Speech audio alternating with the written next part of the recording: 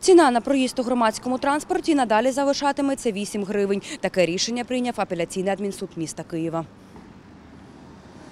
Судді не задовольнили апеляцію свободівців. Позивачі вимагали повернути старі тарифи на проїзд. Люди е, що- щодня сплачують е, дунуваті божевільні ціни е, на громадський транспорт. Вже є рішення Верховного суду по Миколаєву, є рішення апеляційного суду по Полтаві, яке вступило на набрало законної сили, де аналогічні дії вже скасовані. Адвокат позивачів вважає, Київрада не тільки встановила непомірну ціну на проїзд у громадському транспорті, але й ухвалила рішення з порушенням регламенту. Відповідно до е, законодавства України, акти, які не пройшли регуляторну процедуру, підлягають скасуванню у судовому порядку. Відповідач у справі КМДА у департаменті економіки вважають, тарифи підвищені законно, адже водії вимагають збільшення зарплатні. До того ж, ціни на бензин зростають.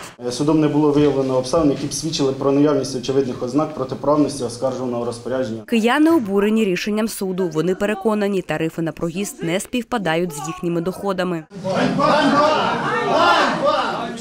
В том, что как бы там, что бы ни говорили, все равно, что они решат, так оно и будет. Поэтому биться головой об стенку это бесполезно.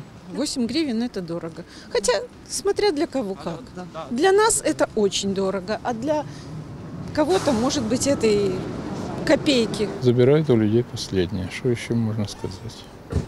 Потому что нет рабочих мест, не создают, а питаются только повышениями цен на різні услуги.